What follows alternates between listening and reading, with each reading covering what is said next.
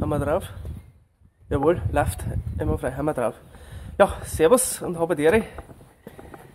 Ja, heute ist soweit. Ein Stimmers. Wegsheislauf, Treibhaus, Tomatenheisel. Super Wetter, brennt oben, einmal frei. Bestes Wetter für, dass man das Heisel aufstellen kann. Jawohl, Gewindstange habe ich schon hergekriegt. Schau so aus, vorne und hinten selbstsichernde Mutter, zwei Beilachscheiben. Zeige ich euch jetzt dann, wenn man das aufstellt. Äh, Betonsterne habe ich schon hergekriegt, unten im Wasser. Und now kommt das, das Heisel da drauf. Genau. 17er Gabelschlüssel, 17er Kräpfenschlüssel, hinten und vorne zum Zusammenziehen. Ideal, auf dem Gator drauf. Die, die Maße passen da ideal drauf, kann man auf Brücke verlegen. Und da auch einer, also ideal zum Aufstellen, top. Ja, dann fahren wir mal oben und bauen das Ganze drum auf. Jawohl.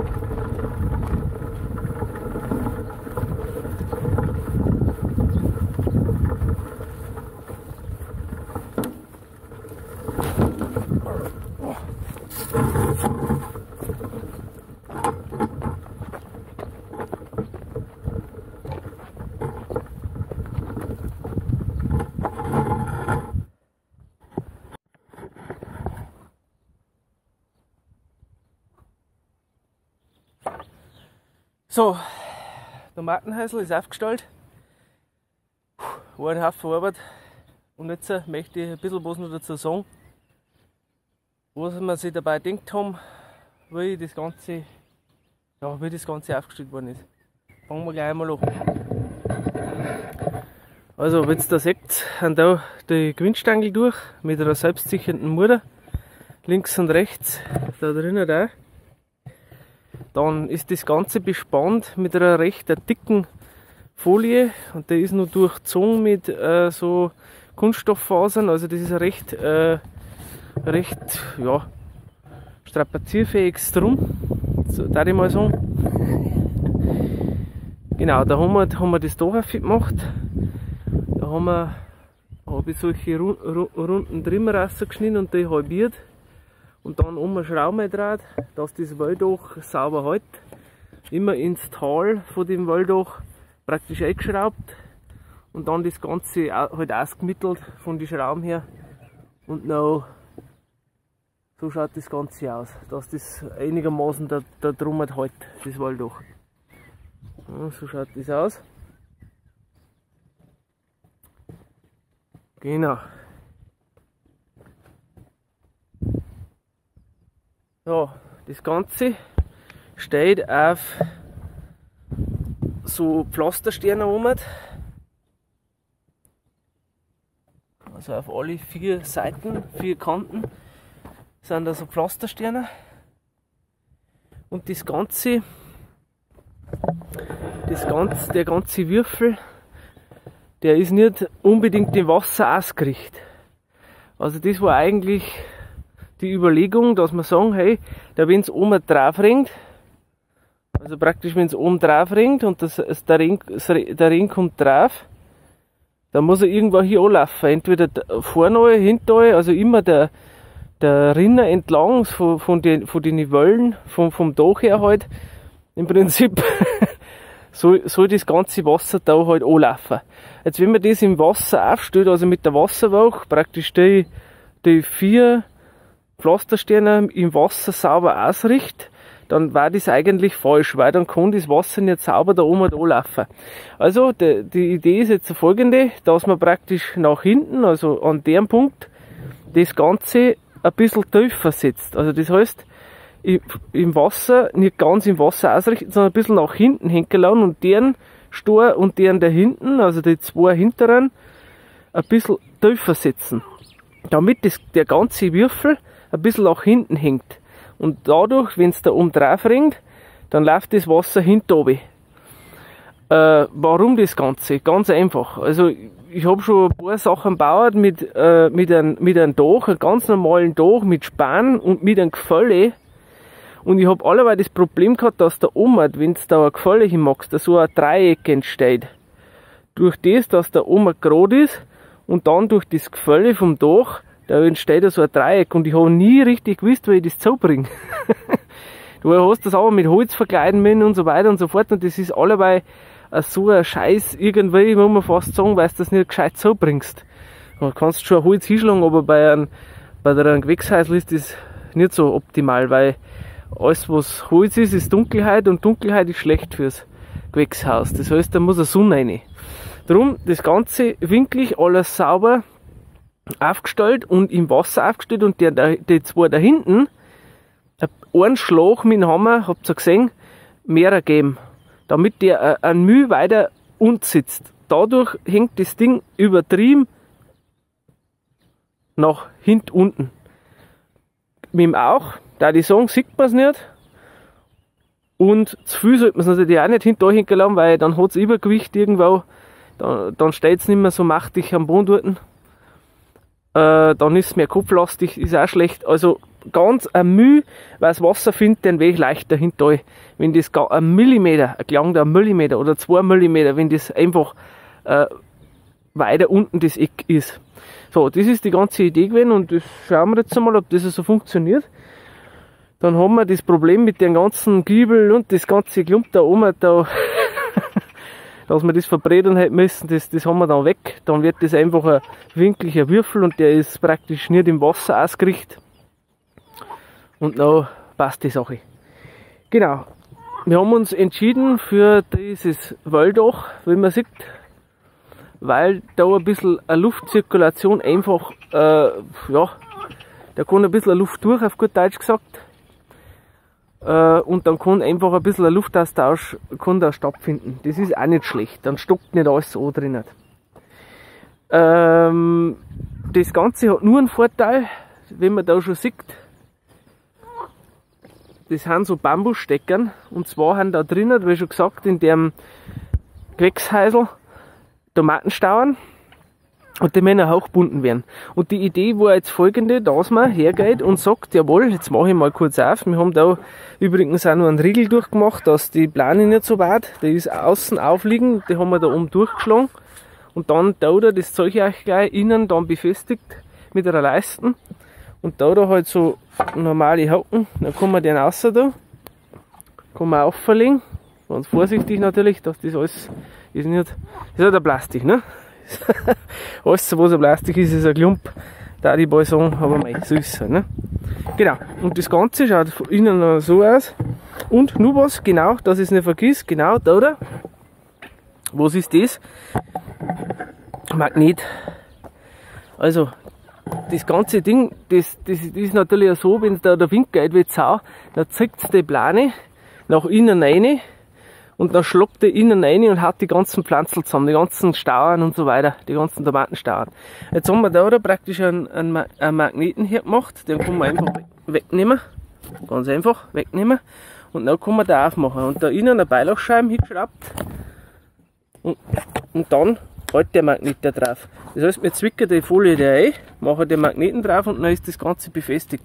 Das ist eine relativ einfache Sache und ja, mei, ist nichts dabei, nichts Besonderes, aber so halt die Plane und kann es nicht nach innen reinziehen. Auf beiden Seiten und dann sollte das Ganze einigermaßen herhalten. Ja, die frischen auch wieder sauber am Mausen. Kinder putzen auch nicht halten. genau das Ganze. Pendant, eine Kopie auf der anderen Seite, also im Prinzip nichts anderes. Und da unten haben wir dann nur so eine, so eine Stangel aus Eisen eine, damit das Ganze auch ein bisschen nach unten ein Gewicht hat und das Ganze alles Genau, das ist eigentlich, zeigt sauber hin. Auf beiden Seiten eigentlich das gleiche Prinzip, sag ich mal. Genau.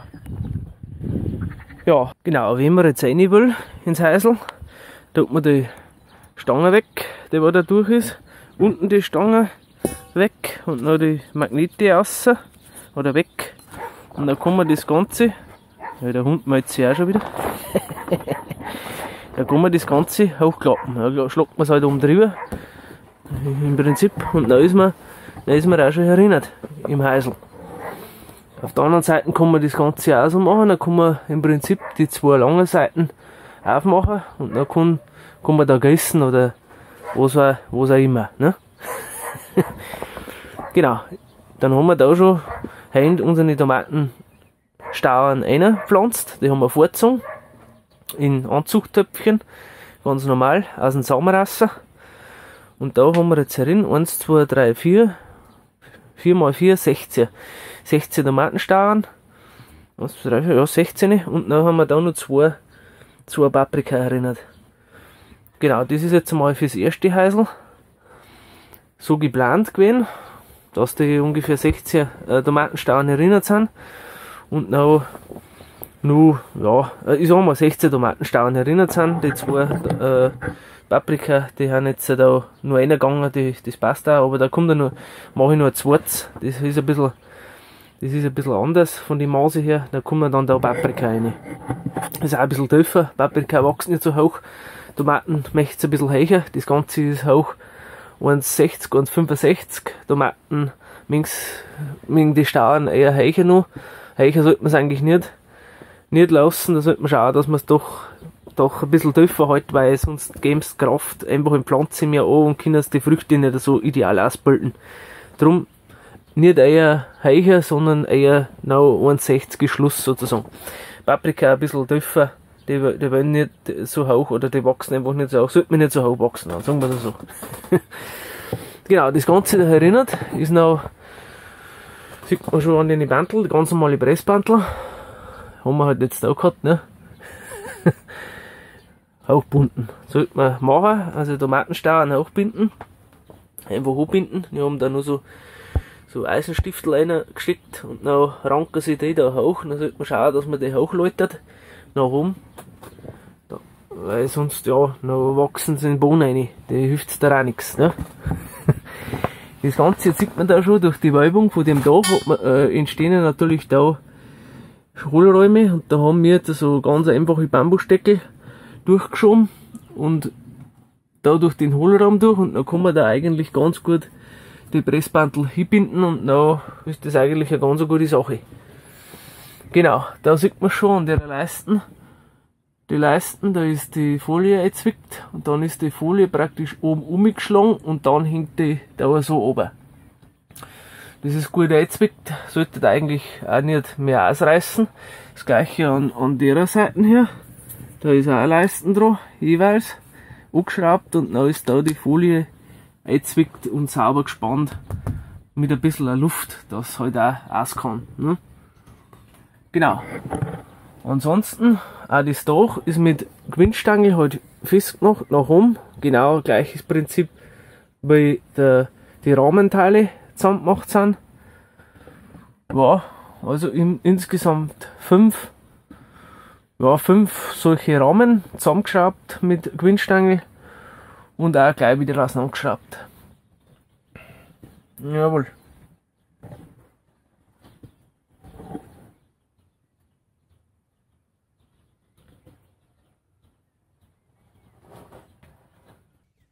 Ja, bei einer Sache haben wir noch ein bisschen Angst gehabt, dass der Wind das den Würfel umschmeißt. Das kann tatsächlich nur sein, das sehen wir einfach. Also wenn er ihn umschmeißt, mein Gott, na, da ist auch nicht viel hin. Aber dann haben wir uns nicht gedacht, wenn wir das noch ein bisschen mehr im Boden einfach ankern können. Und zwar habe ich da einfach solche Leistlasser geschnitten, die haben 60 lang und da in den Boden eingeschnalzt. Und so viel schaut dann nur raus. Ja, wie ist denn das ungefähr? Schaut ungefähr nur 10 bis 12 aus. Und äh, das, äh, das Ganze da einbohrt und einfach einen Diebel eingesteckt. Also nichts Leim, sondern einfach einen Diebel eingesteckt und dann einfach im Boden eingehaut. Und dann halt der Dübel den Rahmen unten, so die Idee. Und vier Punkte und vier Stollen, also da oder und da oder und, und da oder. Das Ganze gemacht und dann sollte, sollten die normalerweise das, den Rahmen halten, wenn der Wind kommt. Äh, warum nicht eingeklemmt? Ganz einfach, weil das drum ist eigentlich ein Verschleißteil. Also das ist ein Holz, das kann verrotten. Das, das heißt, wir, wenn wir den nicht mehr rausbringen, der ist jetzt äh, mächtig im Boden drin, dann legen wir den einfach drinnen, dann brechen wir nach, der stockt dann zusammen und dann können wir da auch, wie gesagt, das Ganze äh, anbauen, das Gewächshäusl und dann einfach mit dem Gruppe durcharbeiten und das Holz, das stockt dann einfach zusammen, das verrottet ja. Und davor ziehen wir einfach in Dübel, in Dübellasser und machen ein neues Leistel und hauen das wieder im Boden ein und, und bohren ein und stecken den Dübel wieder ein. Weil hätte man auch einen, einen neuen Dübel nehmen können, aber mein Gott, nein, muss er nicht sein. Das ist ein Buchener Dübel, der hält her, der hebt jetzt auch. so die ganze Idee. Da, da ist nur so ein äh, Latten und da auch, der ist aber bloß eingehauen, dass praktisch nicht verrucken kann. Also wenn der Wind da herdrucken darf, in die Richtung, dann darf das Leistel sperren und das gleiche das Leistel oder die Latten, die da sperren, wenn er da herdrucken darf, dass das nicht verrückt wird und nicht da rutschen kann. Ja, das Ganze, so ist einfach das ganze, die ganze Idee gewesen. Jetzt schauen wir halt, das probieren wir jetzt dieses Jahr einmal, wie das Gewächshäusler so ist und wenn es gut hinhaut, dann werden wir da ein paar mehr bauen dass wir nur ein paar mehr Tomaten rausbringen. Weil Tomaten im Gewächshäusl, ja, ich sag's wie es ist, haben erfahrungsgemäß besser miteinander, wie hinaus, in, einfach in, in, draußen im Feld. Genau. Und das Ganze sollte natürlich äh, hoffentlich ein bisschen herhalten. Vom ganzen, äh, ja, auf jeden Fall ein paar Saisons, also wie sagt man, mehrere mehr Saison, weil eine Herrschaftszeiten, wie sagt man? Nein, ist ja wurscht, ihr wisst, was ich meine. Sollte herhalten, auf jeden Fall mehr einmal, ein paar Jahre halt. Äh, mein Gott, und wenn es hin wird und zusammenstockt oder was, dann keilen wir es weg und bauen wir es ein neues. Da ist nicht viel hin und im Prinzip verrottet das Holz dann auch. Da weiter gar nichts. Das Plastik ober, obergeschraubt und dann ist das Ding auch ganz schnell wieder auseinandergebaut. Genau. Ich glaube, ich habe nichts vergessen, weil das Ganze funktionieren sollte. Wir schauen halt jetzt einmal, ob das so hinhaut. Das Ganze. Ich bin guter Dinge, dass hinhaut. Man kann da auch das Ganze, weil das ein bisschen halt auf den Pflastersteine ist, äh, mit einer Bewässerung machen, weil ja unten eine kleine Luke entstanden ist das heißt, dieses Gewächshaus ist ein bisschen höher gesetzt, weil durch die Pflastersteine ist unten ein bisschen ein Lucker. Da haben wir jetzt ein bisschen ein, Code hier da. Ein Code sagen halt wir, ne? äh, Erde, Erdreich haben wir hier da, dass, dass die Lucker zu ist, dass nicht ein Viech kann. Aber das kann man jederzeit wieder ein bisschen wegschorlen und dann kann man da Schleichel legen, dann ist das auch automatisch bewässert. Also im Prinzip kann man auch dann die Bewässerung von unten her einlegen Tröpfchenschlauch und so weiter und so fort. Wisst ihr alles selber. Genau. Jawohl. So viel zum Gewächshäusl, wie, wie ich es mir vorgestellt habe, wie ich es gebaut habe und wie wir es aufgestellt haben. Jetzt mache ich das zweite noch. Ist auch noch mal ein bisschen Arbeit. Und dann, wenn es da steht, da ich sagen, schauen wir uns das auch noch an, ob das so gut funktioniert hat und hingehauen hat. Bis dahin, wenn euch meine Videos gefallen, dann abonniert bitte den Kanal, bewertet die Videos positiv. Ich darf mich sakrisch freuen Bleibt alle gesund, haltet die Ohren steif. Ich sage vielen Dank fürs Zuschauen, bis zum nächsten Mal. Aus dem Gromwelli, jawohl. Aber